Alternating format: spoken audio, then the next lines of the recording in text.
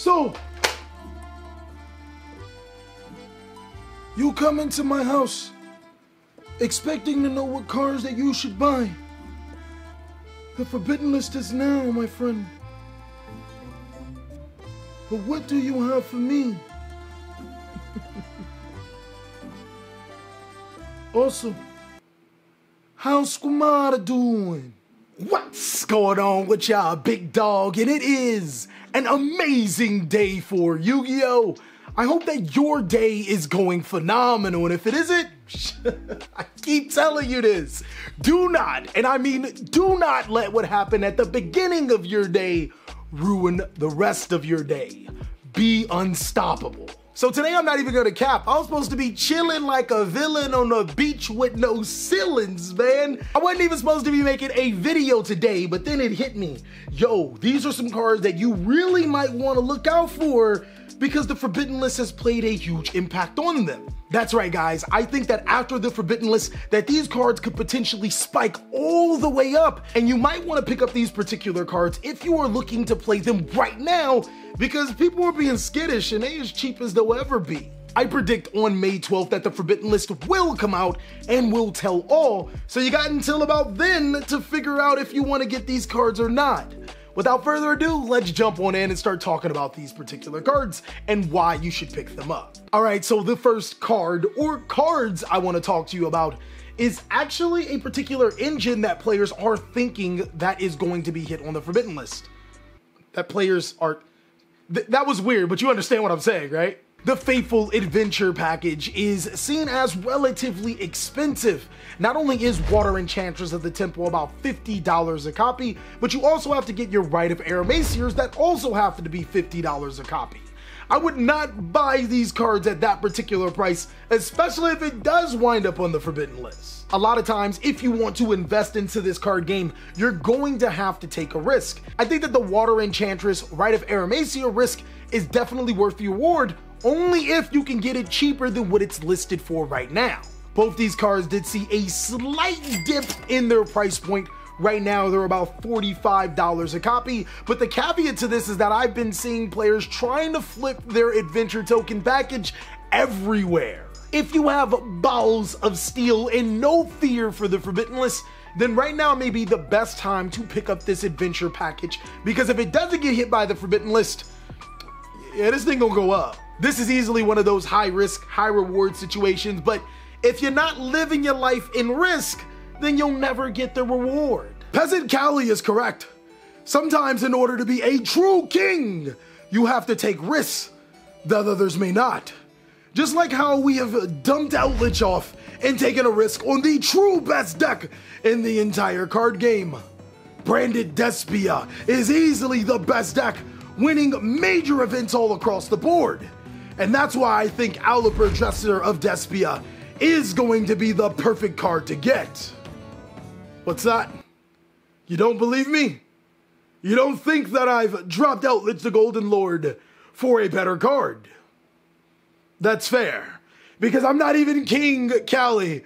I am actually Theater Cali. If my act was genuinely that great, then maybe you should pick up yours. As Aluber Jester of Despia sitting at a low price of $30 each. This is a complete steal as players are still thinking that Aluber will make it on the forbidden list. According to my analytics, Aluber Jester of Despia is only three per case, meaning that if you want your playsets of Aluber, you have to buy an entire case of Ghosts from the Past 2. That's 12 displays at an MSRP of around $800. Don't be a fool, my friend. If you want to keep up, well, buying your Alubers at $30 each might be the best steal of your life if you are planning on playing the deck. Next, regardless on how you put it, I genuinely think that this is going to be a card that will go up in price. Instant Fusion is easily my favorite cup of ramen, as this card has been amazing over the course of the years. Being able to special summon fusion monsters like Elder Entity Nord into your side of the field. The good old days. The good old days. The, the good old days? That, that's not how I remember it. It wasn't that good. Eventually, Instant Fusion was hit to 1 because it was just that good of a card. Fast forward into 2022, not only do we have ridiculous cards like Skill Drain at 3, and then of course, Raigeki at 3. Fun fact, there has never been a time in TCG Yu-Gi-Oh history that we've ever had Raigeki at 3, so yeah. And if you don't believe me, well, I have a History of Yu-Gi-Oh series, and you can go ahead and check that out, that thing is fire. I genuinely suspect Instant Fusion to come off the Forbidden List in some capacity, maybe semi-limited, maybe unlimited, but even if it doesn't, Instant Fusion has major implications inside of the Dimension Force set. Not only do Predaplants get an instant fusion summonable monster, as well as the Pendulum strategy getting an exclusive instant fusion summonable monster, we also know that the zombie strategy, which is also supported inside of Dimension Force, also would be able to become a lot better with instant fusion.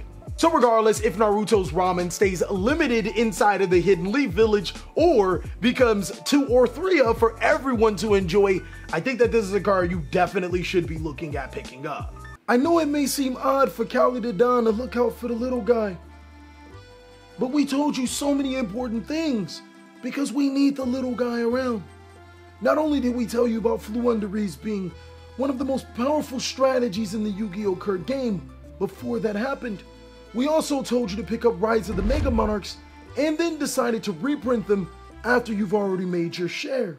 But now it's time for Calydodan to tell you something else.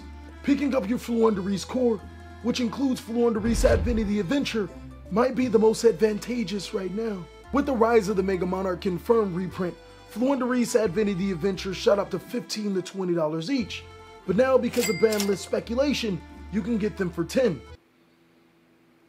This is normally a deal of a lifetime. If you're a Floowandereeze player or just a budget player looking for an ultra competitive deck, take advantage of it. If I were a betting man and the only bets that I take are ones that I know I can win, I would surefire pick up Floowandereeze Advinity Adventure for a Floowandereeze player because after the Forbidden List,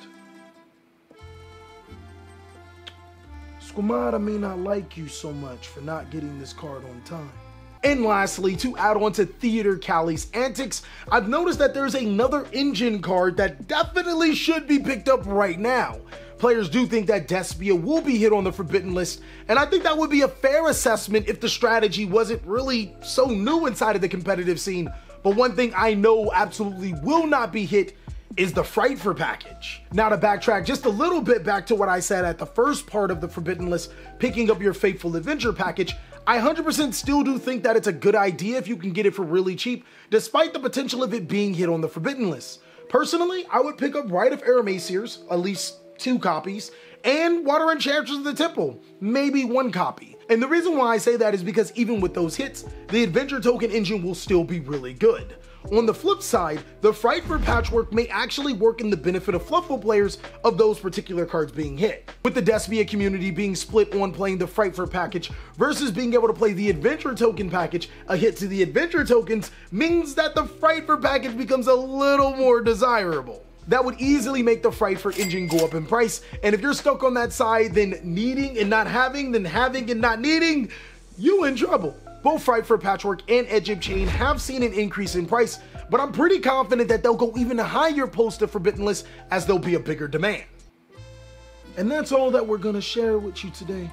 I've already told the other Calis, including King Cali, to keep their mouths shut if they value their families. But of course, I'm a businessman, so if you want to see more amazing content that will help you on your journey, go ahead and check out one of these videos. They're pretty good. And if you also like Master Duel, if that's your fancy, then check out Master Duel Cali. He's a cool guy. I really hope you're out there making a name for yourself in the name of Squamata. Because if you are, we'll definitely meet again.